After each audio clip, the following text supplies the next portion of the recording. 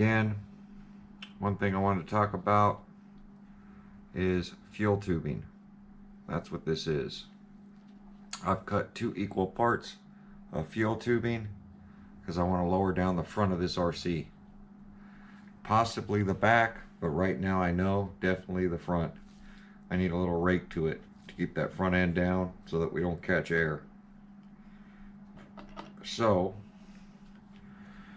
I've got to take this shock, take the end off of it, and I use the dikes to grab it right at the thread so that I can unscrew this ball end.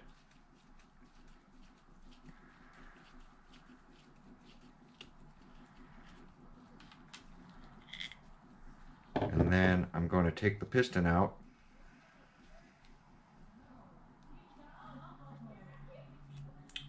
Be very careful not to mess up those O-rings that are down there. I'm going to throw the fuel tubing in my piston. And then I'm going to put it back without damaging the O-ring.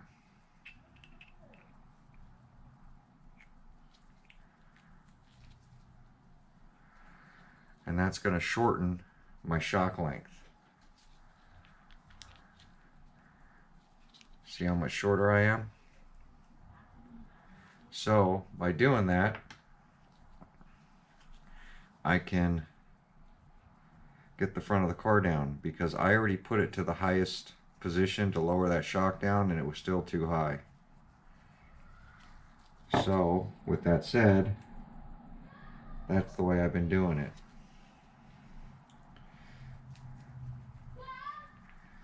And then what I do with the dikes is I'll hold it tight and butt this right up against where my dikes are,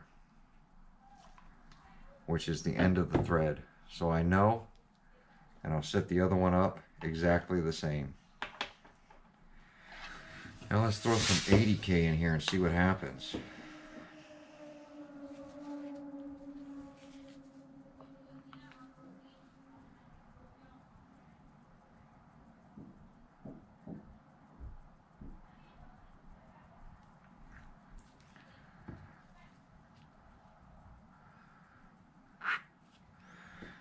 Sucked all that fluid through those little holes.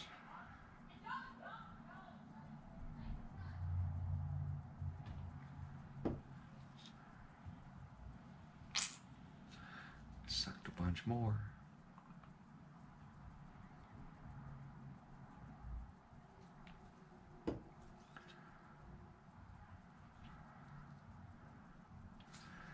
Now this one's going to uh, require it to sit a little bit because you heard it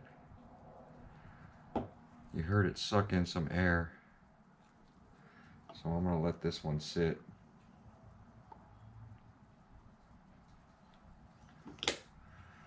And level out. See if I can get the most air out. But just wanted to share that fuel tubing for gassers. Yes electric cars using gas parts um, and that's how I do it. I'll be right back. All right, let's try this again. Camera died in the middle of it. So going ahead, getting my shocks, front shocks put on. So hopefully it's not as bad as it looks.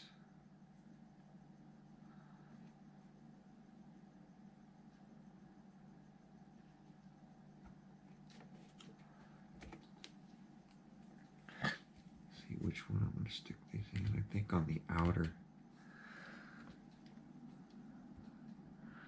the outermost hole. So these front ones are set up. I did lower them down. Be careful to hold this little sleeve in here because they will slide out.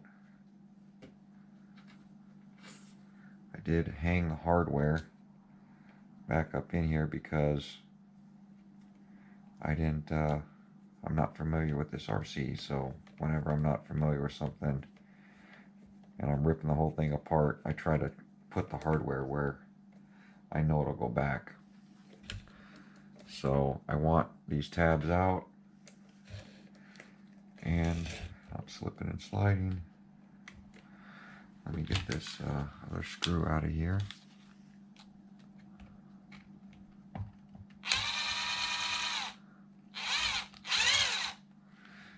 And I am going to put them to the lowest point because I should be able to raise it, just not lower it.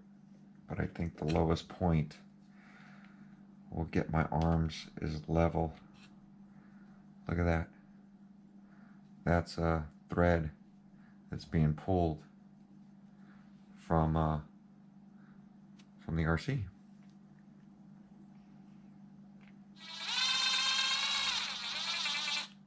Yeah, didn't even stop. Didn't even try to stop. But we're in.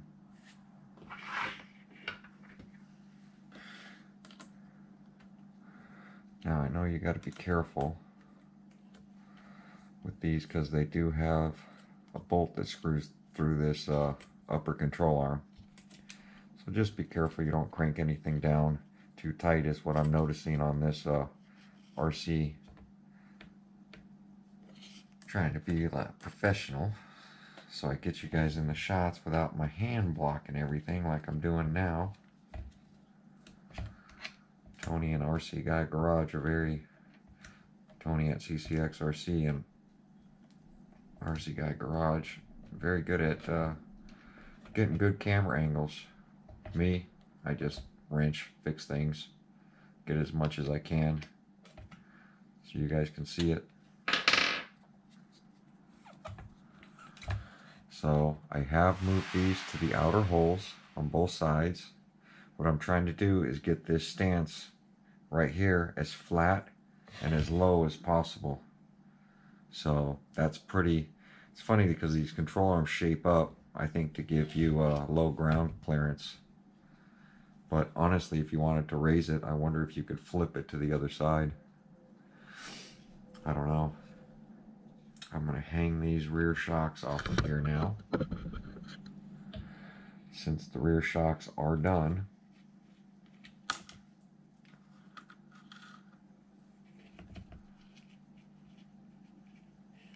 Sorry, my hand is probably in the way again.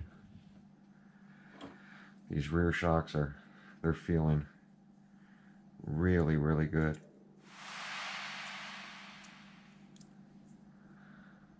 Got some tension to them. Face those out.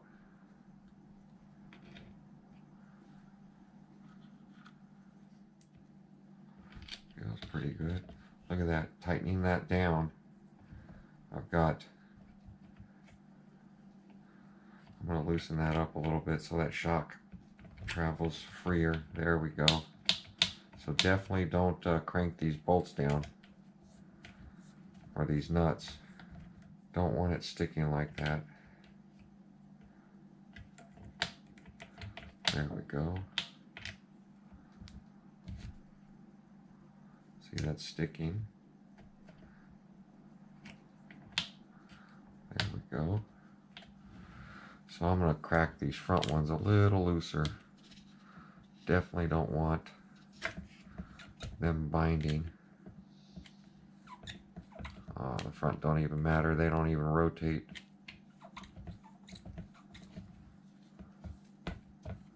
Yeah, just straight up and down.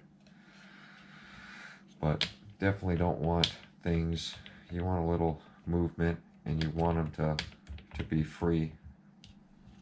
You don't want it sticking. Might need a little less on this one.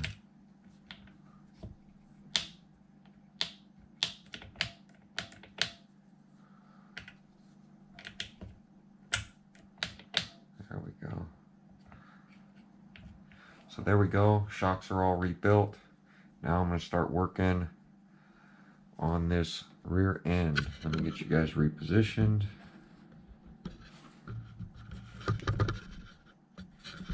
Get you face down. So I am going to start working on this. Where, here they are.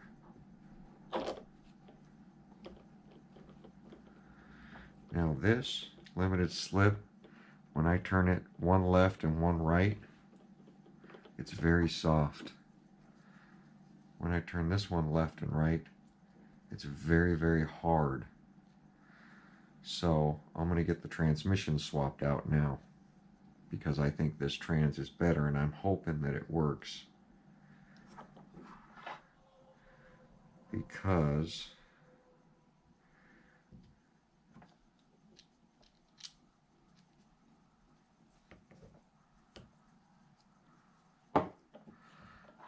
Yeah, this one's really, really soft in there. All right, welcome back. Working on getting this transmission switched out.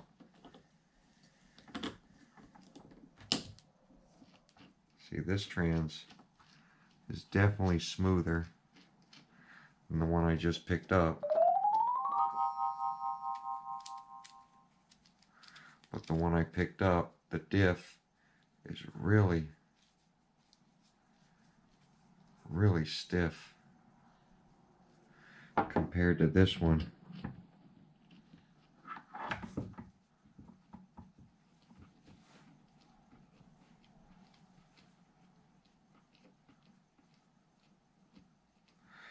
I don't know if it's because I ran it or what.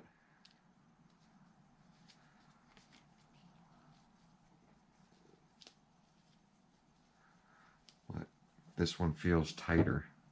And then I'm going to take this one out and open it up. So, let's get this motor out of here.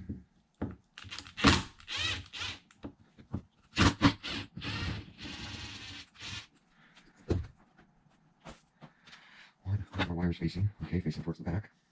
I do notice oil in here as well. What's coming out? Yeah. So there's our motor. Put the motor screws with it. So don't knock it. See the easiest way to take the strands off. Looks like these two screws here.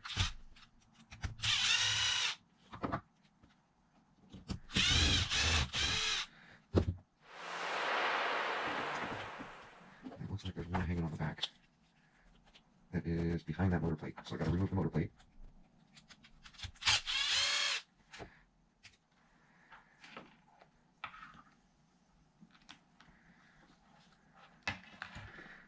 Get these things in the shot. Oh What was that? Oh, that screw's not even in there. So I don't. Oh, that's just popped in between there. I see. Already removed that screw. So, one more. Let me get these lined up. So that opening is going to face towards that opening. I'm just talking to myself, guys. I guess I could be talking to you. But I haven't really done this before. So...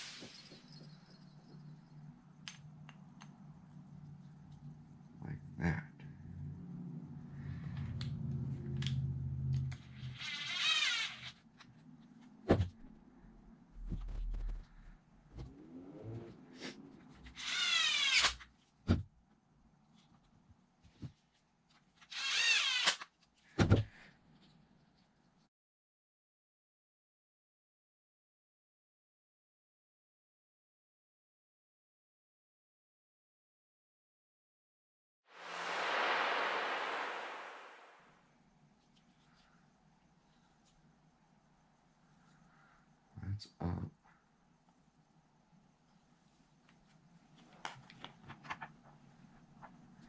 Just go down here.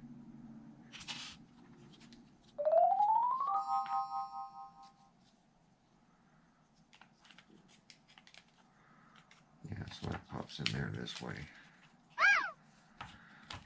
And then these two things go inside these. One inside there, one inside there.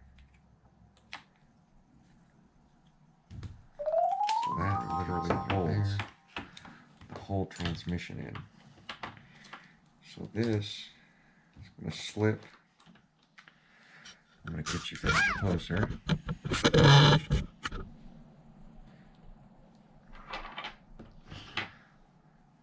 So the axles are going to slip right back in. Is that the right screw? Oh. And these things, yes, are going to screw up in here there for a second. So it's not time for that. So now I should be able to put the whole transmission on with the arms flopping around.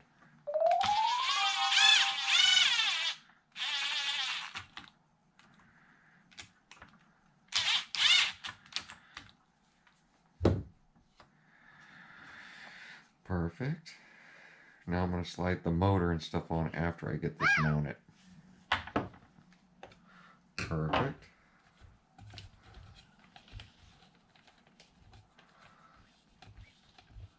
Oh, that feel that feels good. So much better.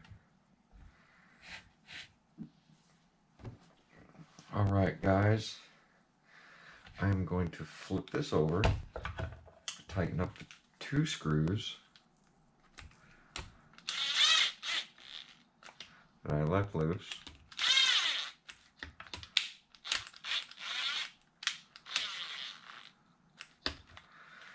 And then it's these four screws that are left.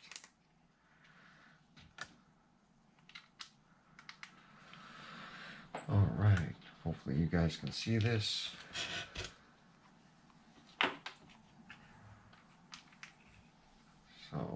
take these.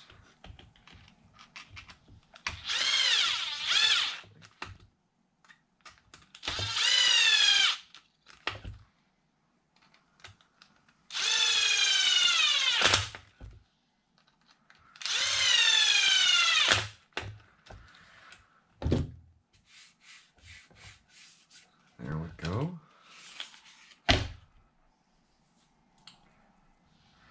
We are back in business, back in business.